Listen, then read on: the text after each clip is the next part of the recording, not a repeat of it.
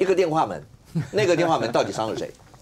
不，老实讲哈，柯文哲也没有把事情讲清楚了，而且他他是把这一个，比如说把卓荣泰一月二十五号讲的那个电话，跟一月三十一号陈永新他们讲的电话哈，民众党有意把它混在一起，因为卓荣泰已经讲的很清楚了，一月二十五号他跟这个黄珊珊见面，讲个三个条件哈，都是以尤其坤当院长为主的嘛，嗯，然后一月三十一号当然就是陈永新他们觉得说，哎，希望说绿白还是有合作的空间，因为最主要就是不希望让韩国瑜上嘛，哈，那所以说陈永新包含这一个呃柯文哲那边人在穿梭。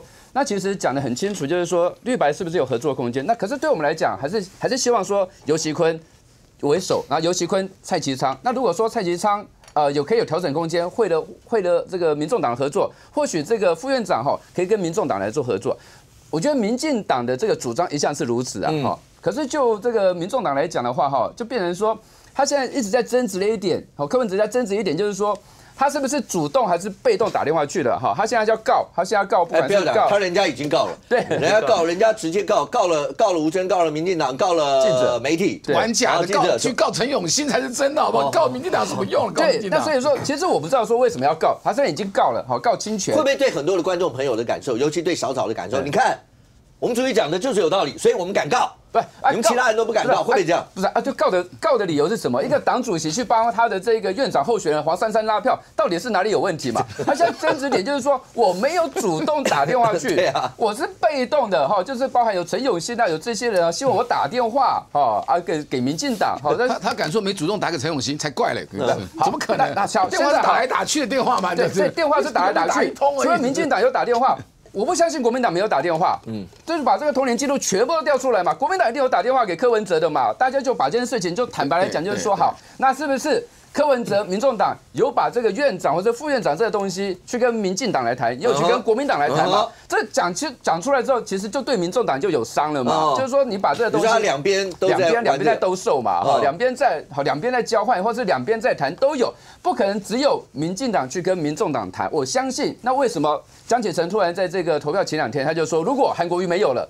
他副院长也不要了，那为什么会有这个讯息出来？那表示他们那时候就是觉得说，哎，是不是民进党有可能跟这个国民党，呃，跟民众党合作？所以国民党那边一定也会有这个讯息，然后也会去谈，就是说，好，那是不是这个院长的部分的话，还是有合作的机会嘛？不然为什么江启臣突然在晚上蹦出那句话，就是说，如果韩国瑜没有了，然后现在他这个副院长，你看人家白银调子拉得多高？白银的调子除了告以外，因为对很多的观众会觉得说，告在中华民国。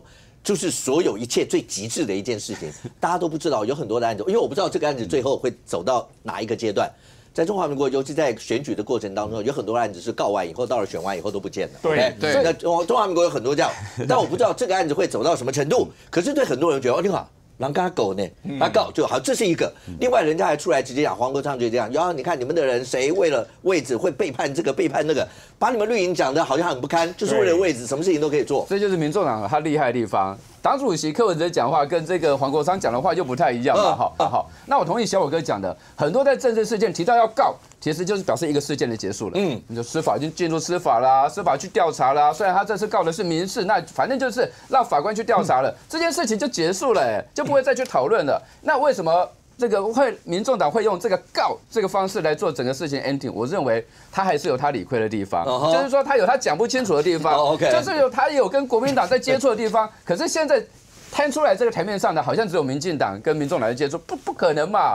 民众国民党也是希望说他们院长、副院长能够能够安稳嘛。今天今天柯文哲得到了在看那个新闻事件得到一个大灵感，什么？就是黑人跟雅雅的事件，黑人就先告有没有？哦，哎，你知道中国人、台湾人很善良啊，谁告好像就是有理啊。我跟你讲，我讲一句话，把这个把这个重点讲出来。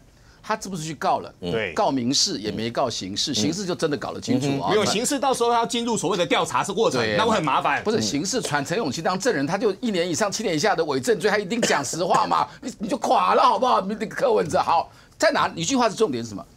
与事实真相。媒体的露出，嗯，包含告，嗯，与事实真相的距离，就这件事的奥妙之处，就是柯文哲操弄媒体比蓝绿厉害多了，很聪明，这才这才要害。来，先跟各位说明一下哈，其实哦，柯文哲虽然说他当过了医生，也当过了市长，哦，对，医生不会骗人，没有错，但是医生呢，可能是一个非常大的一个赌徒，而且这个赌徒最大的一个缺点是，这个赌徒。赌徒不能每次都炸赌啊嗯，你不能够把把虎牌啊。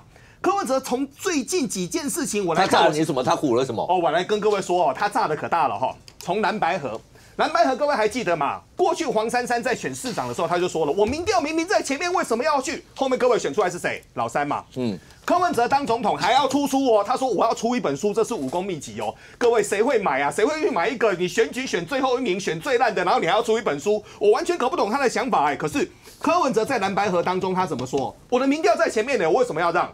后面到了整个，各位还记得吗？后面就到了整个饭店里面，整个炸锅了。那这次柯文哲他有做了一件非常荒谬的一件事情，是让大家看不懂的。各位，他说明明就是他们要把票给黄珊珊。我问各位一件事情哦，黄珊珊连一天的立委都没有当过，他要当立法院院长，他这种漫天之大谎，他扯得出来。所以呢，简单的说哈，柯文哲他在当市长的过程当中，我一直很看不起他，就是。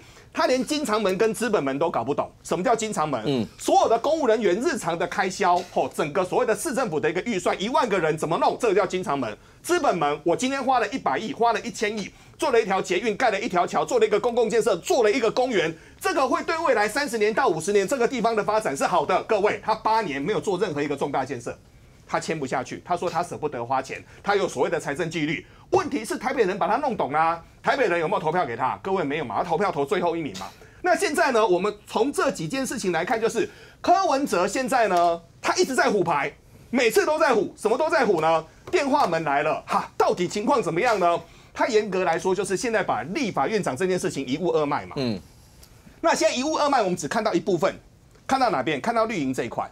那蓝营这一块呢？蓝营这一块是据传，据传哈，本来是说我们双方交换之后，我们的招委让一点给你嘛。嗯。那现在蓝营呢，暴跳如雷说，你居然敢一物二卖，那一物二卖后面会怎么样？不晓得。但各位，柯文哲的个性，他告诉我们，他。